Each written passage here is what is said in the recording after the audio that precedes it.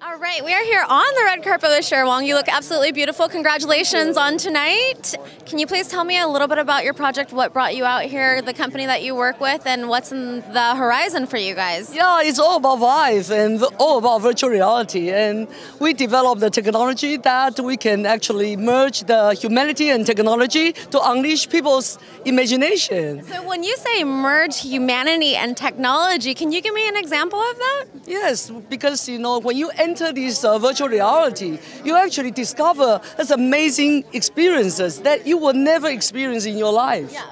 Flying over mountains. That's right, flying over mountain and go back to the history and then go back to the memories that you want to cherish. That's amazing. So, how do you think that's going to affect the future in the entertainment industry?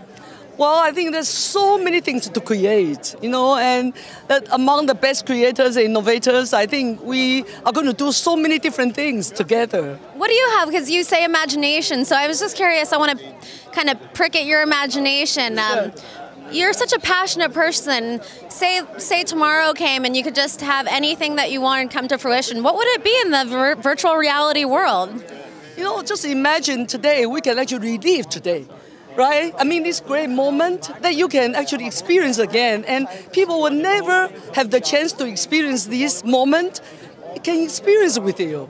Isn't that wonderful? It is wonderful. Yeah. And where can people find out more about the projects that you guys are producing right now? I think you can find all from the internet and also, you know, from our website. And what is your Vive, website? Vive.com, V-I-V-E.com. That's easy to remember. Thank Congratulations. You Thank you so much. Thank we look you. forward to seeing the future of, you. of your company.